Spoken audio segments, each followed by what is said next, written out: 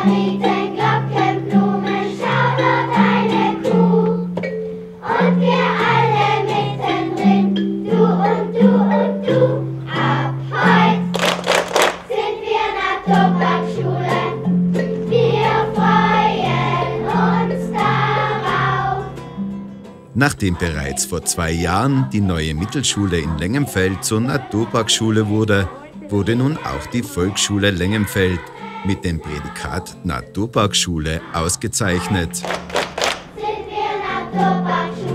So freut man sich in Lengenfeld also nun doppelt über das Zusammenspiel der ansässigen Schulen und dem Naturpark Ötztal, welche sich gemeinsam mit dem Thema Natur im Ötztal auseinandersetzen.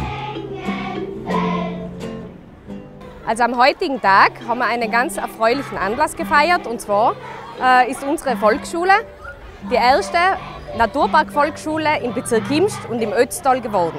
Neben der neuen Mittelschule Längenfeld, die vor zwei Jahren dieses Prädikat bekommen hat, ist also heute der Augenblick, dass man äh, eben mit der Volksschule Längenfeld eine zweite Schule hier sozusagen hat und äh, ich hoffe auch einen guten und, äh, soll ich denn sagen, einen fruchtbaren Boden hat für weitere zukünftige Zusammenarbeit ich als Bürgermeister sage einmal der Gemeinde Lengenfeld, muss ich schon sagen, es freut mich, es ist eine Ehre für unsere Gemeinde, sowas zu haben, weil wenn wir hören, oder in Tirol haben wir mittlerweile zehn Naturparkschulen und davon zwei sind in Lengenfeld. Ich glaube schon, dass das auch ein Zeichen ist für die Kinder, dass die auch die Verbundenheit mit der Natur haben und dass das auch sehr wichtig ist.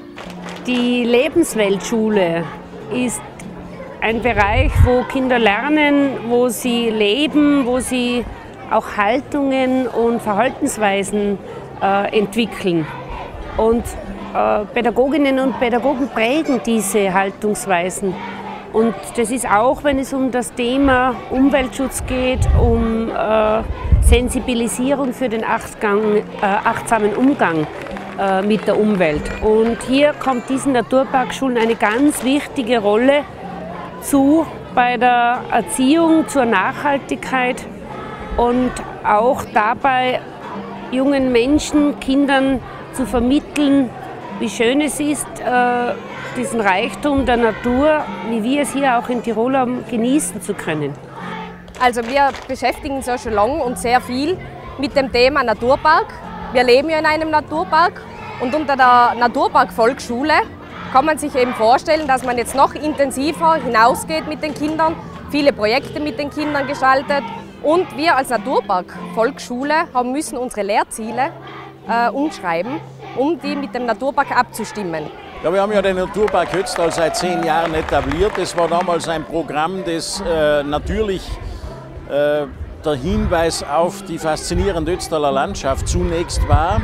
Aber wo wir dann gesagt haben, wie können wir diesen Hinweis an unsere Gäste, an unsere Einheimischen, wo haben wir wissenschaftliche Anknüpfungspunkte, Stichwort Universitätszentrum Obergurgel, wie können wir das weitergeben?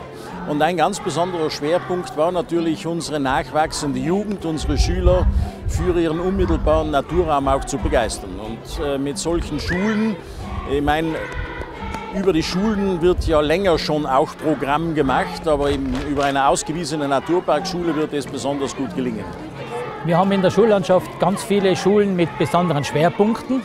Es gibt Schulen mit Musikschwerpunkt, mit Sportschwerpunkt, mit Informatikschwerpunkt.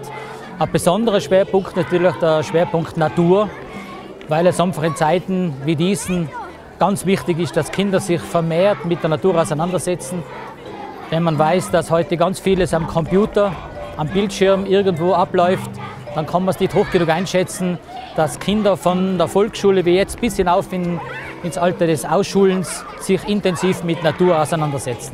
Also für mich sind Naturparkschulen so eines der wichtigsten und effizientesten Bildungsinstrumente, die wir auf Naturparkebene überhaupt haben.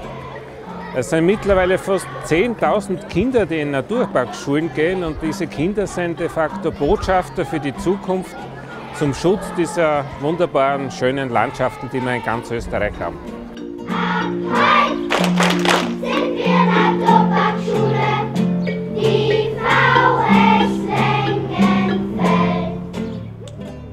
Also die Kinder waren von Anfang an dabei, dass wir Naturpark Volksschule wären und auch in unsere Projekte. Äh, sie freuen sich schon eigentlich eine Woche im Vorhinein, dass wir ein neues Projekt machen. Vor zwei Wochen waren wir die Bodentiere. Da haben sie dürfen mit Schaufeln in die Erde graben. Und die Kinder sind von Anfang an begeistert, wenn sie dürfen in der Natur sich bewegen, umeinander graben, in Matsch greifen. Ja. Also die Kinder haben wir gar nicht müssen irgendwie motivieren. Die waren von Anfang an schon motiviert, was geheißen hat, Bodenprojekt, ihr dürft graben und das war's.